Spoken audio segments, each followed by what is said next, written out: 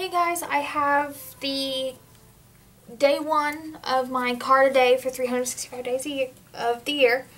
Um, someone in one of the clubs that I'm a president of's birthday is Monday, but I won't see him till Thursday, so I made him a belated birthday card since I know I'll be late. Um, this card came in the envelope set. I didn't realize it came with cards too. Um, they're okay.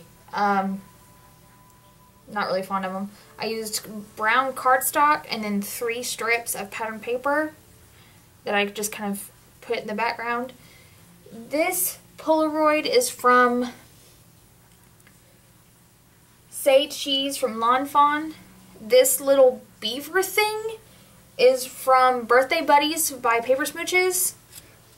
Okay, let me get the sentiment stamps because there's two of them.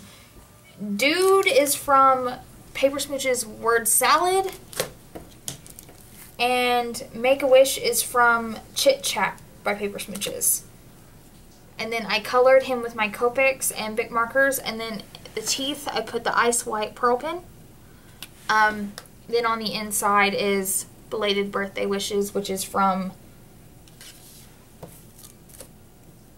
Word Salad. And then on the back is just my stamp. So cute, simple card. Um, I'm trying to figure out ways to use these pol Polaroids. So, and it's a guy card, so it was a little difficult. So when I came up with this idea, I thought it was real brilliant. But there we are. So thanks for watching. I'll see you in the next video. Bye.